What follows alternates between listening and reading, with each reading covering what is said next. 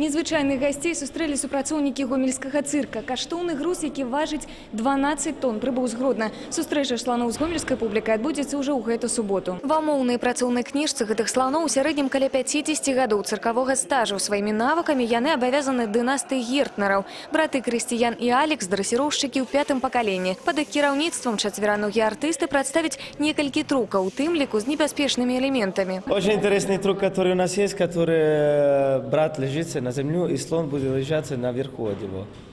Значит, полные 4 тонны от слона вес.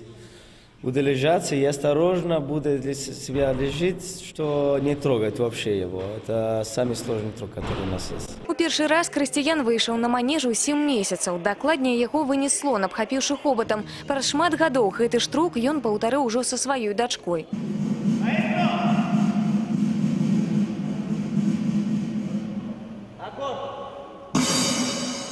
Гэтых слоноў бачыла публіка Францыі, Іспаніі, Кітая і шэрагу іншых краін. Каб даставіць іх з месца на месца, выкарыстоўваюць спецыяльна абсталяваныя фуры. У рацыёне жывёл, гародніна, сена і белы хлеб. Але самая любімая страва – гэта цукар. У дзень яны могуць з'ядаць да кілаграма. Іх жа калегі па праграме кракадзілы Вова, Моця і Гена аддаюць перавагу жывой ежы. Таму для бяспекі гледачоў яны выйдуць на манеж у намысніках. На мне надета Люся, тигровый питон. Это моя любимица, она одна из первых со мной работает. Она работает со мной с 2003 года.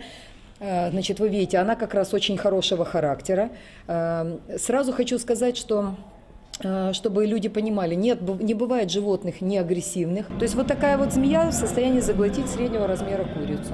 У даўжыню Люся дасягае двух з паловай метраў, іншымі словамі 38 папугаяў. Акрамя выступлення з тыгровым пітонам, Марына Навасёлава прадставіць нумары з бардоскімі догамі. На сёння гэта адзіны прыклад у свеце цыркавога прадстаўлення са зграі ахоўных сабак. Акрамя гэтага гомельскі глядач убачыць дрэсіраваных галубоў, клонскі дуэт унукі лейтенанта Шміта і лазернае шоу. Пасля гомеля гэтую ж праграму будуць сустракаць у Казахстане. Ганна Кавалёва, Валерый Гапанько, тэлерадыёкампанія Гомель.